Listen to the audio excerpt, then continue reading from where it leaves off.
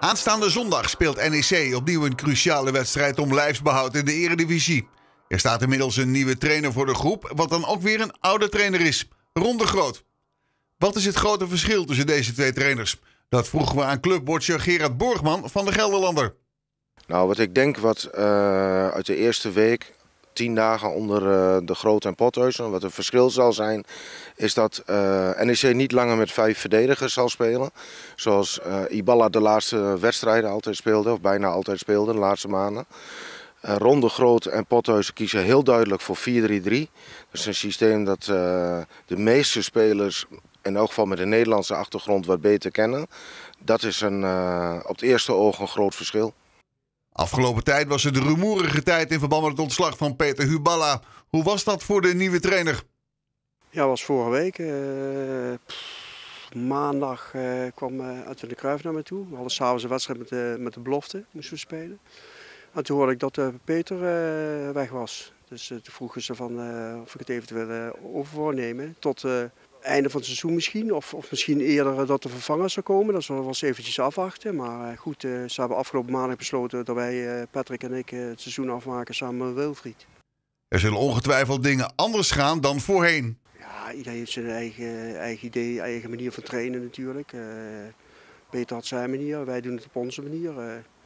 dus wat dat betreft zal misschien wel een verschil zijn in de manier van trainen. Aanstaande wedstrijd tegen AZ, die heeft de bekerfinale verloren. Dat moet merkbaar zijn binnen een elftal.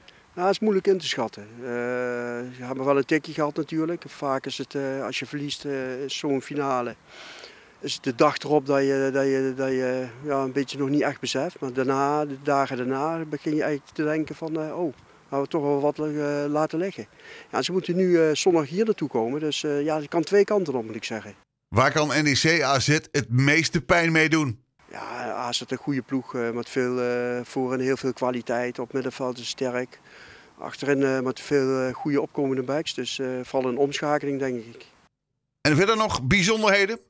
Nee, uh, Ofuso is een tijd geblesseerd geweest. Is deze week weer teruggekomen. Heeft vandaag weer de eerste keer met de groepstraining meegedaan.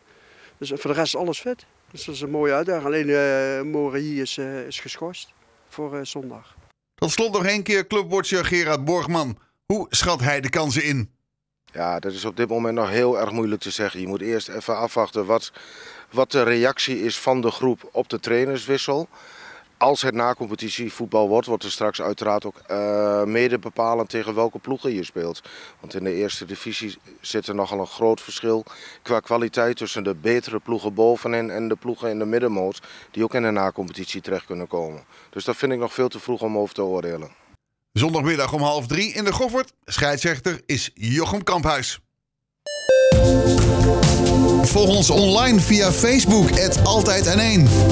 Op onze website n1.nl of via Twitter, het Altijd N1. Want Nijmegen is altijd N1.